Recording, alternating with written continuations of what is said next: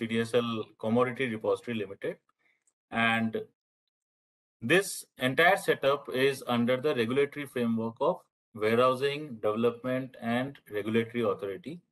In short, we call it as WDRA. Now, what is WDRA and what are the principal roles? We'll come into that. So WDRA comes under the Ministry of Consumer Affairs and their primary duty is about registration of warehouses. Now, when we say registration of warehouses, it also includes various steps that uh, they take as developmental steps, which are like awareness programs, uh, more uh, enlightenment about the good practices in warehouse operations. Those are also part of their activities. Now, this WDRA, they have set up repository for generating and maintenance of electronic negotiable warehouse receipts.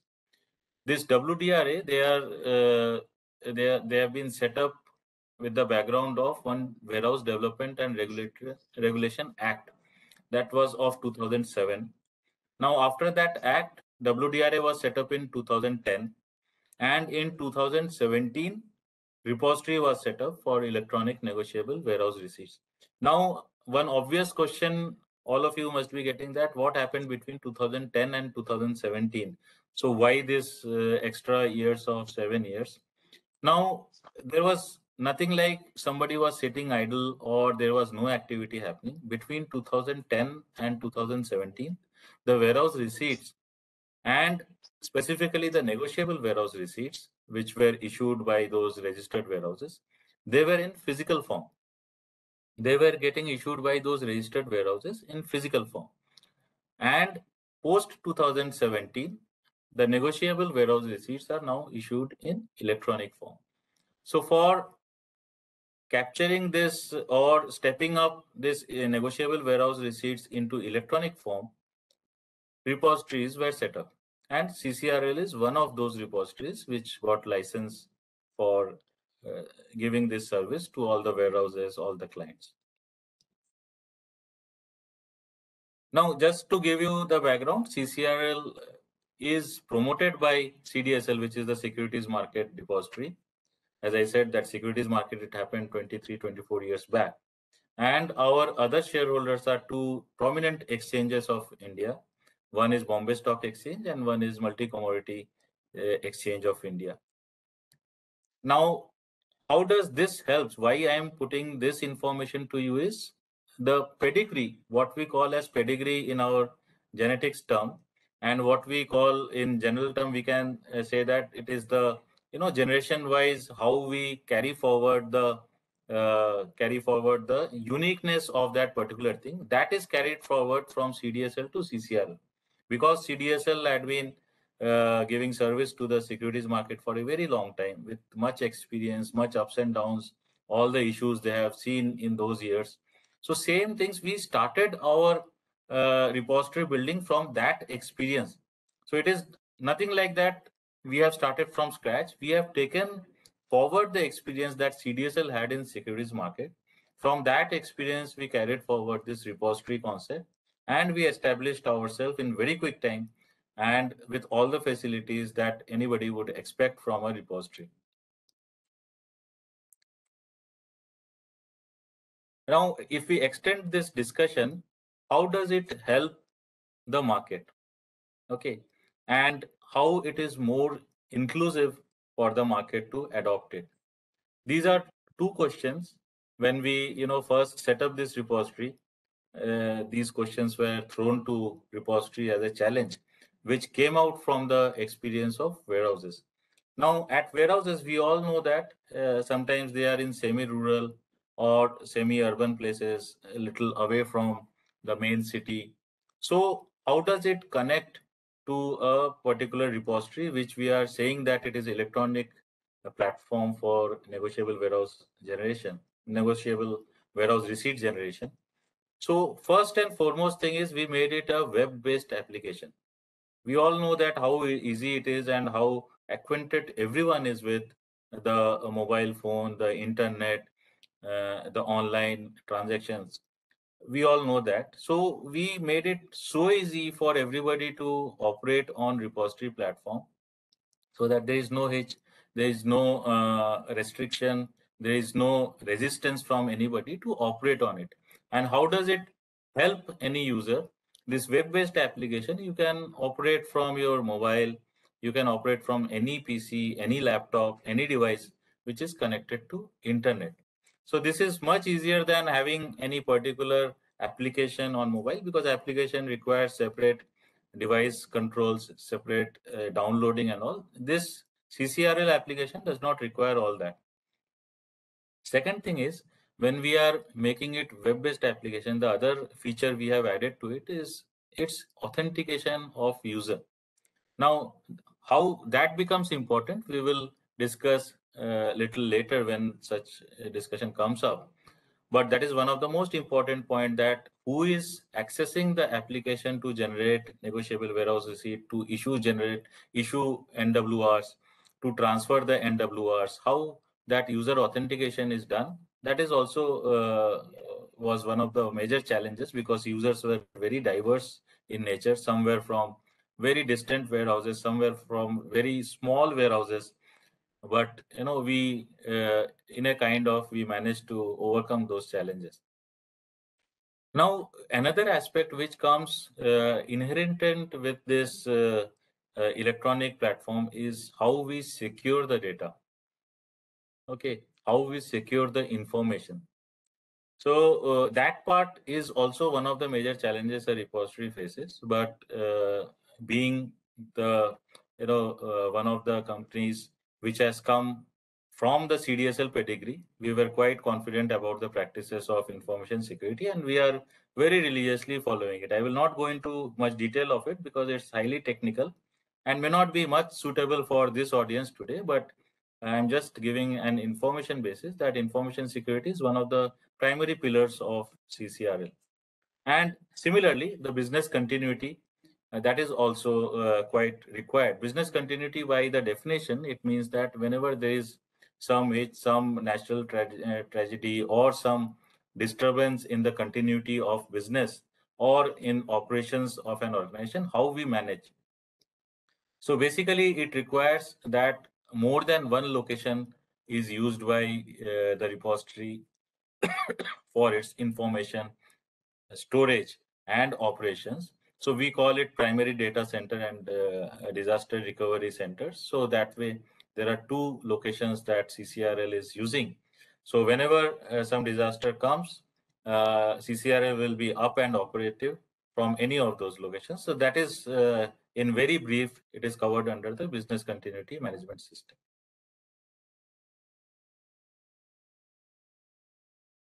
One second.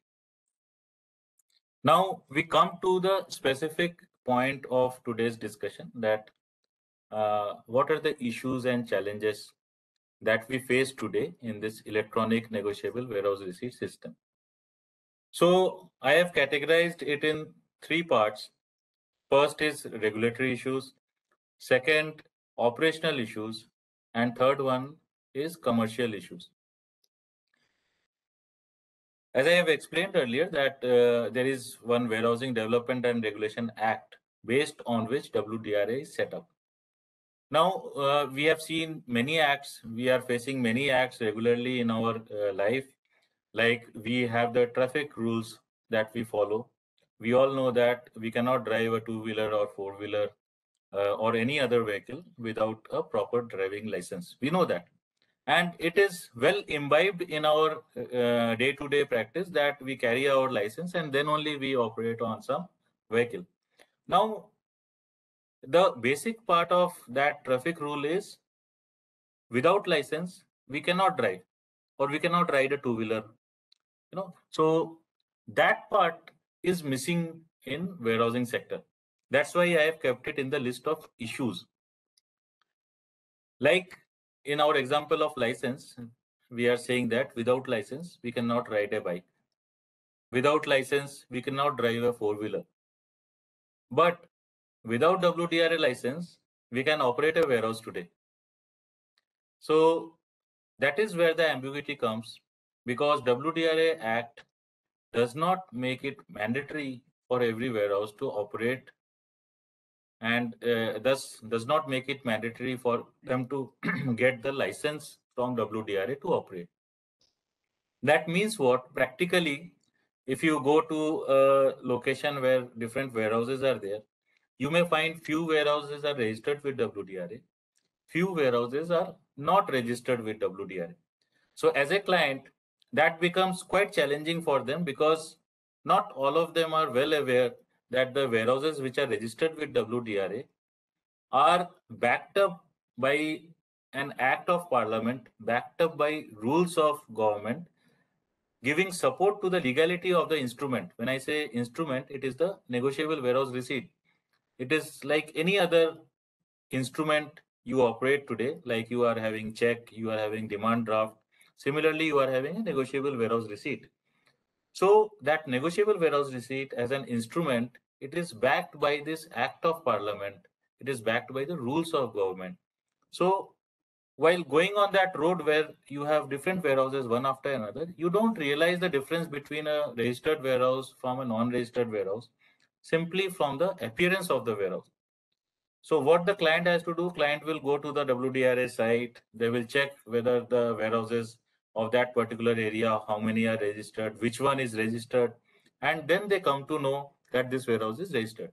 Now the risk factor here is, suppose the client goes to a non-registered warehouse and the warehouse is issuing some receipt and giving him and the client is operating on that you know taking loans from the banks or they are giving uh, they are transferring it to another person so such activities on any receipt issued by a non-registered warehouse, it is not having any legal backing.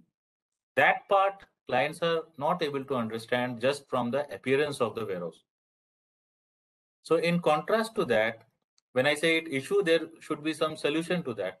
In contrast to that, if WDRA Act would have been mandatory on all warehouses to operate, then the situation would have been different. So the client you know walking or driving through a road all the warehouses which are there operating on those particular uh, aspects say agri commodities if you take example. So such warehouses there is no distinction. Every warehouse is registered. Every warehouse is operating under a standard operating procedure. Every warehouse is giving ENWR which is backed by uh, one act and rules of government. So there is no difference the only difference would be the service levels of those warehouses. But the client is well assured in such a case because they are getting the warehouse receipt, which is a genuine negotiable warehouse receipt. Now, just to uh, support this point, as all of you are well experienced, you know that warehouses often issue uh, warehouse receipts which are transferred between each other, which are pledged with banks. Negotiable warehouse receipt when the term is used. Negotiable means one person can transfer it to another person. So in case of loans, you will say that it is not transferred between one another. It remains with the holder, only the bank is funding. But the pledge funding concept itself says that when there is a lien marking, when there is a pledge on that particular instrument, then actually the owner of the goods is the lending agency, the bank, the NBFC, which is lending on that. Okay, till the time the borrower is repaying the loan. So in that case also, negotiability of the particular warehouse receipt is very important and is a must. So in absence of this act being mandatory on all the warehouses uh, for their registration, there are many warehouses which are not registered today. There are many warehouses which are issuing warehouse receipts. And on those warehouse receipts, there are pledge fundings, there are transfer of uh, ownership, all those things are happening. But if you go into the depth of it, a warehouse receipt, which is there issued from a non-registered warehouse, cannot be negotiable at all. Negotiable warehouse receipt can be issued only by such warehouses which are registered with WDRA. That's the rule says. So there is one, you know, gap or gray area in this where the regulations today are not complete in a sense that they don't mandate for a warehouse to register themselves to operate. The other challenge today uh, in the second category, as I have said, there are many, many operational issues. You know, I have listed few major ones and all of you being, sorry, experienced enough would appreciate that there may be, you know, many more that than this, what I have mentioned in the slide, and those numbers are much higher. But if we go to the major ones, the first one I have listed here is quality testing. In many of your warehouses, you must be storing agri commodities, non-agri commodities, and while issuing the warehouse receipts, there is a valuation of what is getting stored. Now, when we say valuation of what is getting stored, specifically for agri commodities, value is what is getting into the warehouse and of what quality it is. That is of primary importance because agri commodities are mostly perishable. Some are very perishable in nature, like we know vegetables, fruits, they are uh, they are counted today as perishables. Some are having a little higher shelf life, which can be stored for four months, six months, ten months, or you know, couple of years also. So uh, that kind of perishability and limitation of shelf life is there in the agri commodities. So that is one factor why testing is required. Second factor is there is no uniformity.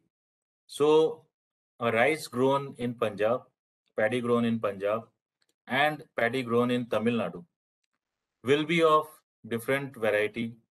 Even if they are of same variety, they will have different output quality levels because you know uh, the agricultural pattern, the kind of water in used in such production, the kind of soil quality in that area, all will be uh, varying like that.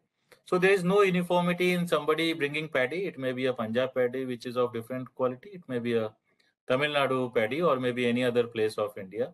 So that quality varies. So that is why quality testing becomes of prime importance because you have to evaluate the commodity which you are going to store and issue the warehouse receipt. Now, when we say quality testing, many of you must be following the quality testing practices in your warehouses. You will ask the question, sir, how it is difficult. We follow it day in, day out. But there is the catch. Even if you are following it, there are certain standards to follow it. Now, when we come to standards, those standards also differ. You know, uh, standard for AgMark, as they have defined, say we take the same example.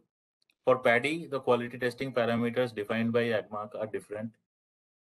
There are certain derivatives market where commodity exchanges are operative.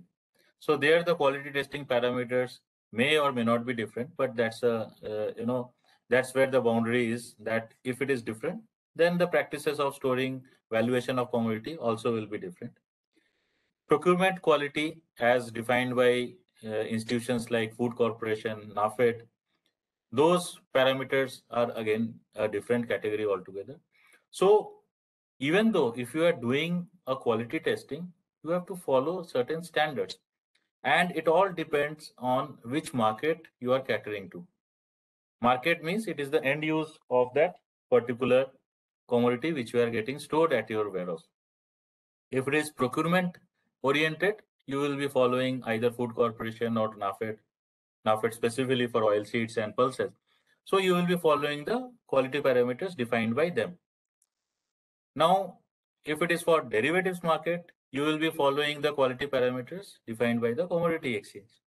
And if it is for some pledge funding uh, objective, you will be following the quality parameters given by the bank, which are to be tested for that particular commodity. And then the bank will fund on that particular warehouse receipt. So in absence of uniformity, that also becomes one of the challenges I have listed out for, you know, giving something very uniform to the market, giving assurance to the market that this is of this particular grade. This commodity, this cargo is of this particular grade because you have different different standards. Now, if we come to the resolution of this issue of quality testing, how does it happen? Now, when the electronic negotiable warehouse receipt, as we are discussing in this ecosystem of WDRA, ENWR, if it is adopted, ENWR gives the complete information that this is tested as per this standard, this is of this grade, and its value is this. Now, if you say that as a warehouse operator, I also write the value on the warehouse receipts. I know all the warehouses, they are writing the value on warehouse receipts. For client, that becomes more challenging because you don't know what is the source of that information. If a particular warehouse is issuing warehouse receipts saying that, you know, 3,400 per quintal is the price of wheat that they have received in their warehouse, you never know whether that 3,400 is that day's price, whether that 3,400 is, you know, correct price of that particular variety, or if there are any, uh, you know, hidden agenda behind that for giving a wrong price on the warehouse receipt. But there is also a possibility that the client and warehouse connive themselves together and try to cheat the bank. That has also happened in multiple cases. The valuation of the commodity is hyped in the warehouse receipt, and then it is pledge funded by a particular bank without even realizing that the values written in the warehouse receipt are much higher than the actual value of the commodity. so as as we go through all these points, we know that the agri commodities agri-commodities storage, agri-commodities valuation.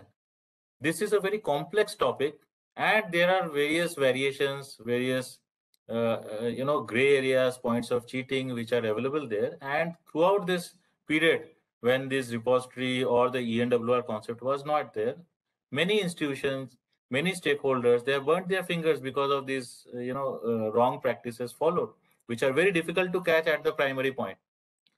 But these issues, when we discuss them, they are resolved with ENWR, if, we, if I can uh, tell in short, but how they are resolved. Because you have a particular quality testing standardized method given to the warehouse. Because you have a particular SOP, standard operating procedure of testing given to the warehouse to operate. Because you have valuation of commodities very well defined that you know for this location this particular commodity this is the price which is prevailing today. So any variation you know which is beyond a particular percentage of that price enwr generation is not allowed in that area. So it is location commodity mandi price that way it is you know uh, that is getting implemented now. So very soon you will see that aspect also uh, in the enwr which you are operating today. So these are getting standardized. Standardized for whom? These are getting standardized for the stakeholders, for the users, for their benefit, for their risk mitigation, so that they are not cheated. Okay. Now, the other points which I have mentioned in operational issues, storage practices, of course, uh, if majority of you are into warehousing, you know what does it mean. It means the various practices of proper preservation of goods. It relates to fumigation of the goods. It relates to stacking of goods. It relates to humidity control in the warehouses. These are all very important points. And why it is listed in the issue? Because these all points, they ultimately, ultimately they result into the, they affect the quality and quantity of the goods. If the goods are not fumigated properly on time, there are chances that it will be infested by pests. And when infested, the grains or oil seeds or pulses, whatever it is, the weight of it, the quality of it will come down. And as the quality comes down, the value of the particular lot, particular cargo will come down. So what you have stored in the warehouse and what you are taking out from the warehouse, there will be a value difference. So who will bear that value difference? That remains the question mark. So that's why the storage practices become a major issue in warehousing. And how this ENWR ecosystem restores the confidence in the stakeholders, that also we will discuss. Manpower is another issue uh, uh, I will tell you in ENWR system, when the warehouse is onboarded on a repository system, certain basic educational qualification uh, and skill sets are required. First of all, uh, the person should be computer literate. So that becomes uh, sometimes challenge in many parts of India that a particular warehouse operators, they are not that computer literate. That's why I have listed it here. So basically, when you are getting into some online system, uh, some electronic system, literacy of operating the application, that becomes challenging for repository. On this, we continuously uh, uh, undertake these awareness programs. We go into the depths of geography, uh, very interior places, and we conduct programs so that there is one initial uh, momentum created with that warehouse that this is how it is operated. This is how the application of repository is operated. This is how you are going to generate the electronic negotiable warehouse receipt. But to get into the practice for generating the ENWR daily, uh, operating on that application daily, that still remains a challenge uh, for the warehouse operators. And the last part I have uh, mentioned here is compliance uh, for a registered warehouse, compliance to WDRA rules, WDRA regulations, all those points are very important. I will give you example. There are various compliances, means uh, the list goes on, but I will give you a couple of examples. First is the insurance requirements. Okay, WDRA has defined a set of risks where insurance has to be there for the warehouse for the goods they are storing. Now, how different it is from the existing practices that many of you must be knowing where you know warehouses are not registered with WDRA. It is the will and wish of the warehouse whether they take insurance, they don't take insurance, they take the insurance for all the risk. All these are variables in those areas in that particular warehouse. There is no fixed rule that they have to take burglary insurance. There is no fixed rule that they will take the theft insurance.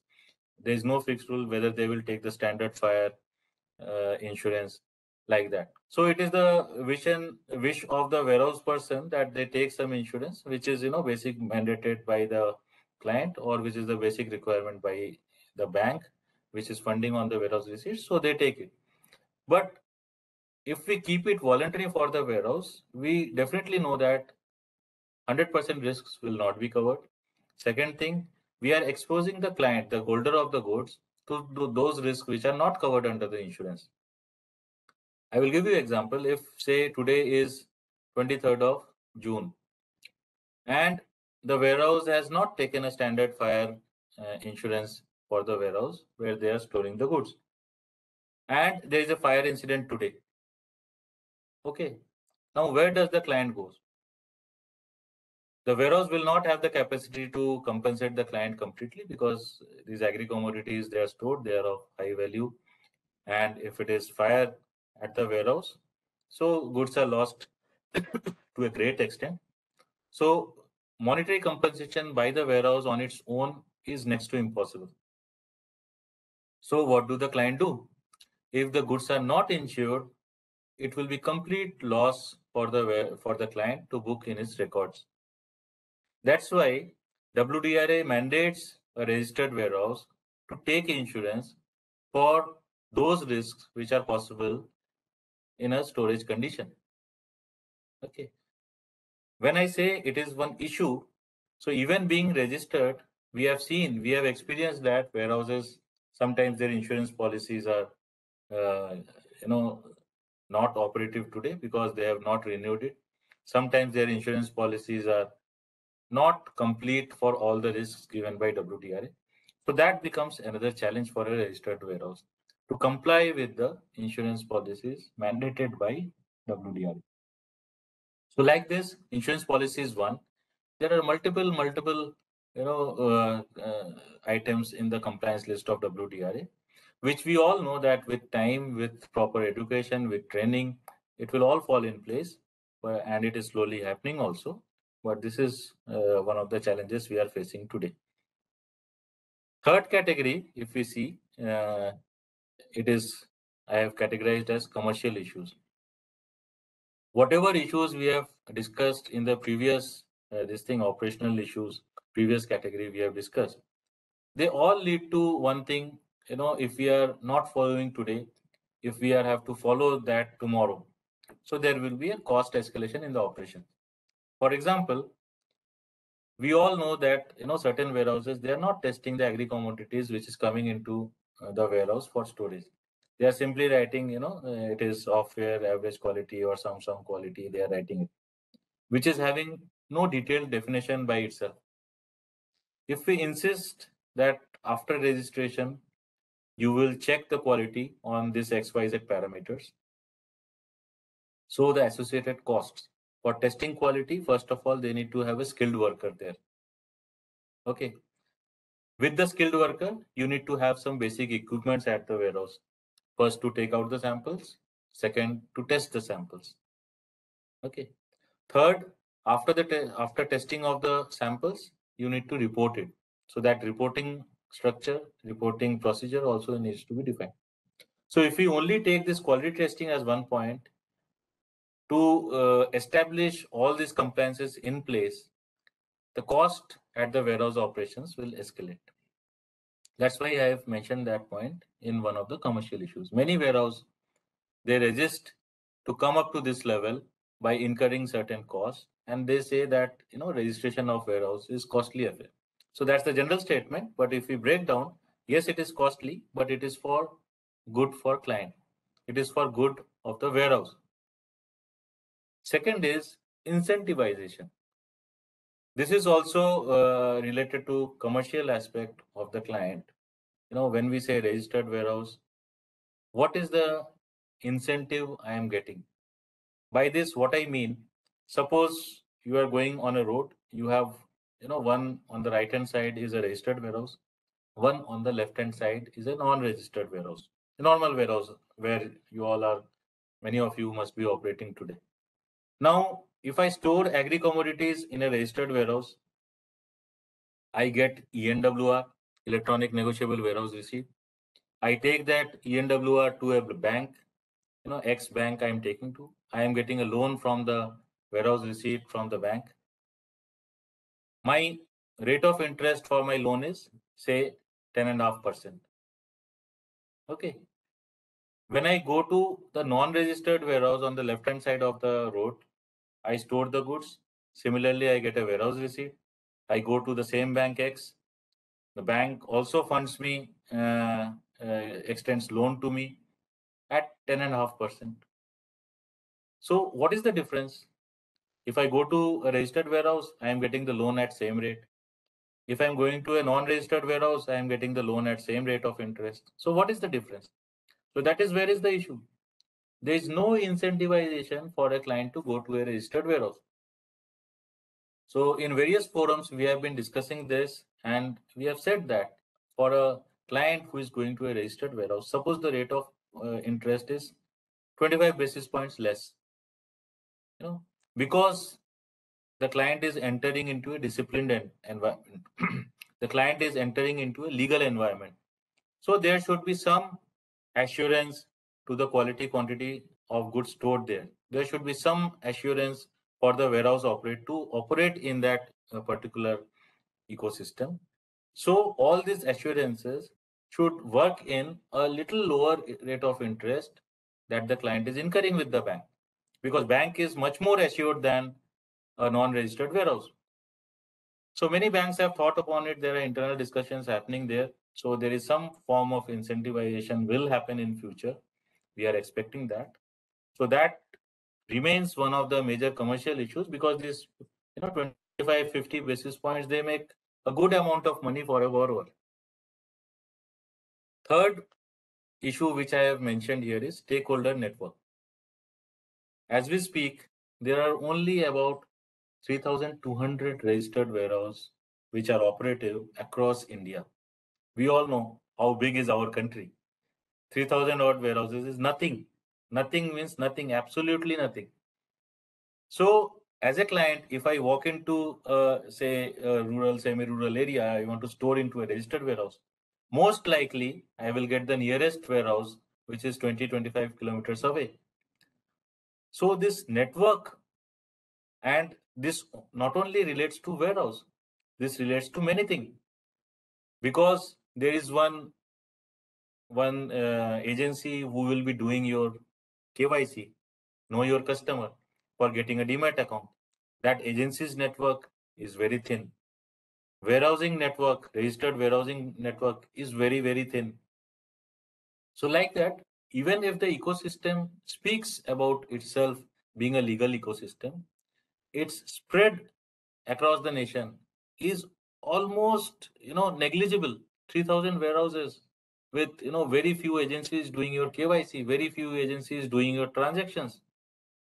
So this entire ENWR ecosystem or repository ecosystem, we say, its acceptability is only to those people, its usage is only by those people who know about this. Because the network is very, very thin spread. You know, so that becomes one of the most important challenges that we are facing today, that the entire ecosystem, its availability to the clients, its availability to the users is very thin. And in fact, banks have been adopting this network, this ecosystem less, primarily because the warehouse network under registered warehouses is extremely low. For example, if they are doing uh, business in Telangana state and they are you know having a business target of say 10,000 crores of funding, but if the warehouses available in Telangana state which are registered with WDRA are close to 30, 40 or 50, it's impossible that in entire year, which you know primarily will be two seasons, agriculture seasons, Kharif and Rabi crops will come, they achieve that 10,000 crores target. It's impossible. We should have much more warehouse network. We should have much more uh, agencies network who are servicing the clients for their demat account. So that becomes, you know, one of the major major challenges in this ecosystem.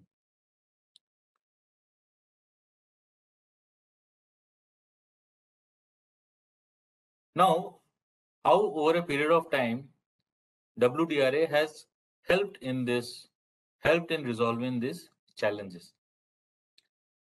Okay, first for first is of course uh, not a resolution statement. It's a, a, rule statement that negotiable warehouse receipts are a requirement by warehouse. Then registration with WDR is a must. As I said, that none of the warehouses which are not registered with WDRA can issue a negotiable warehouse receipt. Of course, they can issue any other warehouse receipt, but they cannot issue a negotiable warehouse receipt. As we say that, you know, act is not mandatory. It is voluntary for a warehouse to register itself with WDRA. So I must say at this juncture that there is many advanced discussions on Amendment of Warehousing and Regulation Act 2007. Okay, so very soon it will be listed is expected to be listed in Parliament. And this amendment will actually pave the way for all warehouses uh, for them to get registered with WDRA as a mandatory purpose. If they want to operate as a warehouse, for them to register with WDRA will be mandatory. Very similar to the example that we uh, discussed earlier of a driving license. If you want to drive today, license is must.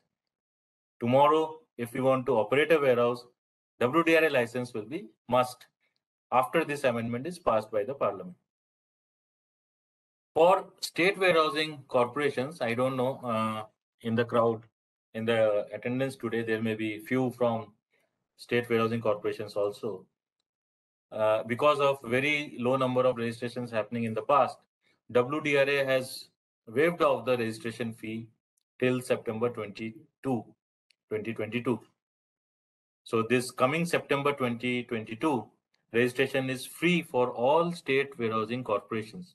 So as such, WDRA has written to the managing directors of all state warehousing corporations. So even if there are certain participants in our uh, class today who are from state warehousing corporations, they can also escalate it internally that this is what was told to us. So if the warehouses are not registered, they should take immediate steps to get it registered. Then fourth is the registration process, registration time taken. Those things are, you know, much more simpler today. So earlier, it used to be some four, five months for one registration. So today it is about 30 to 45 days, the registration happens. And the last point here, which I have mentioned is the fee for registration. If you see smaller warehouses, they are having less fees and you know warehouses beyond 25 metric uh, 25,000 metric tons, there the fees is 30,000. And this is the fee I said earlier for state warehousing corporations, it is waived off till September 22. They need not pay. And with the payment of these fees, any private warehouse uh, which is you know thinking of getting itself registered, so that registration will be valid for five years. There is no other payment needed for the remaining five years. So these are some steps WDRA has taken to simplify the warehouse registration for them to generate ENWRs. Now, these are some statistics uh, which I think uh, as I share with Shailendra this is uh, for reading purpose, you can use it. So there is information is self-explanatory here. RPs, I must uh, inform you, RP is repository participant. Uh, RPs are the agencies who are doing the KYC of clients and helping them to open the electronic demat account in repository. So they are spread across the geography as per need. But as I said, since the registered warehouses are itself very less, around 3,000, little above 3,000 today. So the number of RPs and their spread is also very limited to those geographies only. These are some milestones of, uh, you know, uh, repository commencing its operation and then taking it forward to the derivatives market. As I said, derivatives market, they are the commodity exchanges. And then it is further extending its services to ENAM in 2020. And today we have, you know, all the CWC warehouses, Central Warehousing Corporation warehouses, they are all registered. Wherever they have warehouses for public, CWC warehouses are registered. NAFED as an uh, as a procurement agency, they procure mostly the oil seeds and pulses for government. We have conducted their pilot in two states in Rajasthan and MP, where they have used the ENWR for their procurement activities. That pilot was also done in collaboration with Central Warehousing Corporation. So initial uh, pilot activity with NAFED is done. So we are waiting for them to use the ENWR full-fledged.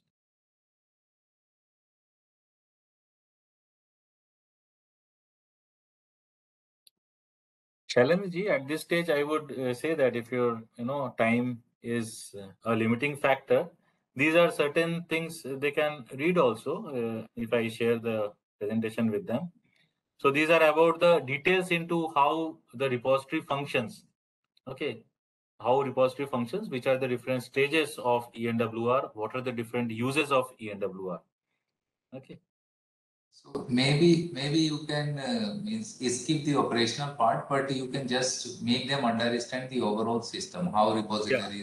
Yeah, yeah. that I will do. So uh, repository is you know basically where the electronic negotiable warehouse receipt is created on this application and that creation of application happens with the deposit of goods at the warehouse and the ENWR lifecycle ends with the withdrawal of goods from the warehouse. Now, with this deposit and withdrawal, there are various functions, very complex functions associated with that particular lifecycle of ENWR. First and foremost is the demat account of the client because all these are electronic. You don't get any physical printed copy of ENWR. You get the credit in your account. All of you must be operating uh, with your debit cards or online transfers with your banks. After the transaction is done, you get one SMS saying 5000 rupees debited from your savings account XXX. Similarly, with the operations of demat account for the client here, with all the transactions, even the credit of say if uh, if we take example of wheat, if the wheat is deposited at a warehouse, wheat is credited into the account. As I say, say 100 metric tons of wheat. So the quantity of 100 metric tons wheat of a particular grade, which is assessed at the warehouse for its quality testing, that is credited into the demat account. There is no physical receipt or something that the client gets. It is the credit into the demat account. So after the credit is done, suppose the client checks his account, he will find that 100 metric tons of wheat appearing in his demat account. And if he further explores the details of that, he will get the warehouse address, he will get the quality, he will get the grade, he will get the valuation and all the related details. So all are available in the electronic form in the demat account of the client. Since demat account is very important here, the KYC of the client also becomes important. The identity, the address. We say in very short, there are two things, POI and POA, proof of identity and proof of address for a client is required. And that activity is done by RP, repository participant. As I said in my previous slide, repository participants are the network of agencies who are doing the KYC and demat account opening of the client.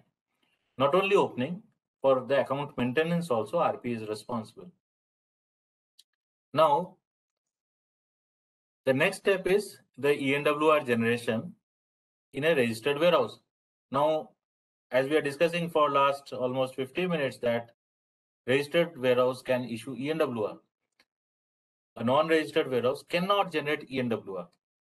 So this is a very controlled environment in which after registration, the information comes into repository and the repository issues the uh, you know login credentials to the warehouse to operate on repository.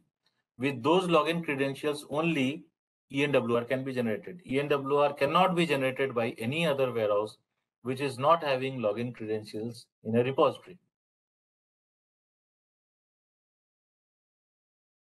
Now, if we compare the traditional method of transfers and transfers in electronic form. By the name only, you all very well know that electronic transfers are much simpler. Just a click of a button. You know, those things are by definition it comes.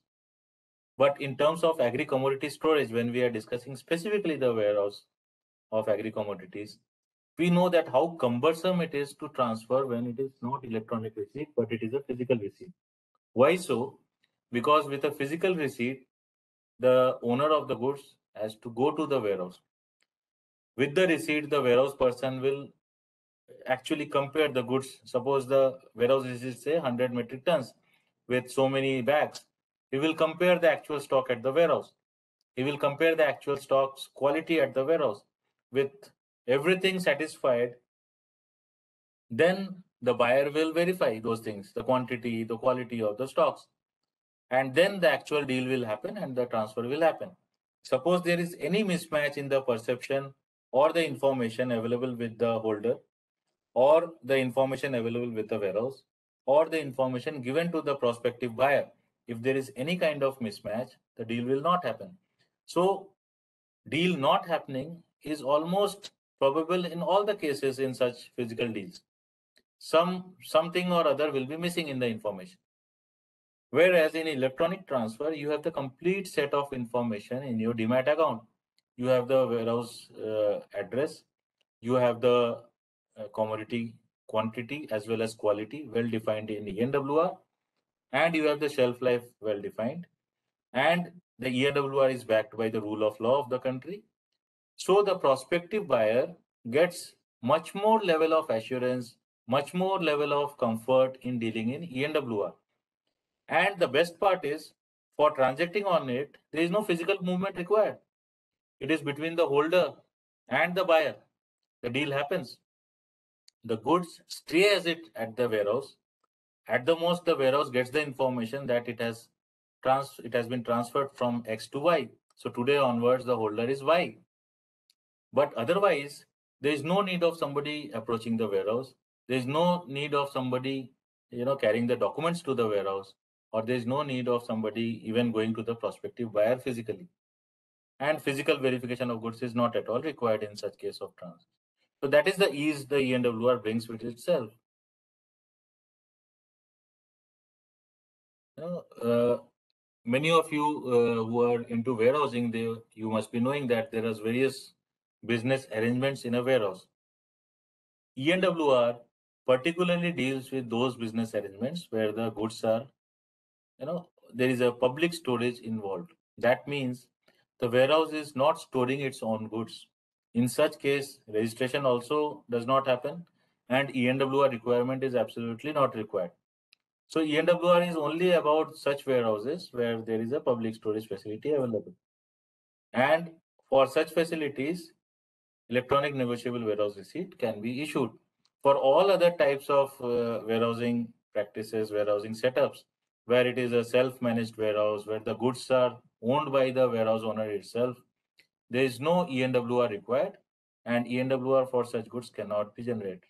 Now, for the other part, other types of businesses like you know reservations done by food corporation or other lease arrangements where their ownership and the operations of the warehouse are well within one entity itself. In such cases, ENWRs are not required. Fine, these are the you know pledgees we call banks and NBFCs as pledgees here. So they all are uh, today funding on ENWRs. So that's uh, more for an information. I have put this slide that you know it is slowly taking the uh, popular route. ENWR is getting popular slow by slow very slow in fact but uh, somewhere the initiatives taken by wdra and government they will Uh, enhance the pace of its getting popular